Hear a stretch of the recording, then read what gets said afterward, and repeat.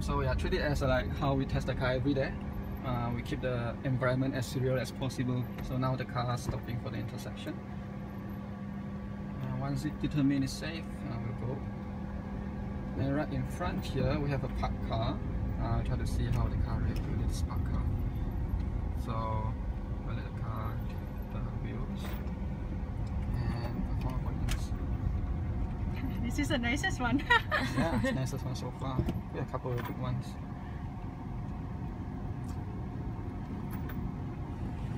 So we're doing the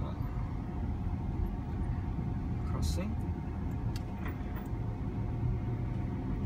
Here we're just cruising along at 30 km per hour.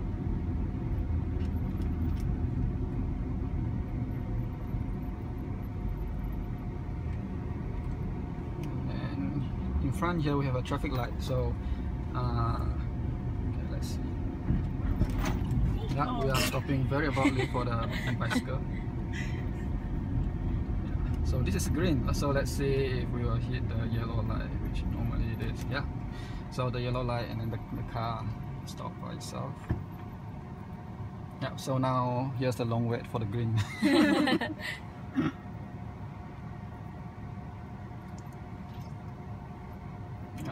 just making. What types of things does it have a hard time predicting? what to do? Um, right now it is, um, well, it's just, it's actually like there are so many things occluded from our view. So we try to uh, have a sensor that's surrounding us uh, and detect it.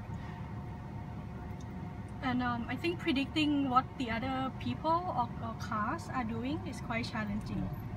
So, when you are human, right? You just when you when you tell the other car to go first, you just wave. Yeah. But the car doesn't understand Right. that kind of Yeah. gesture.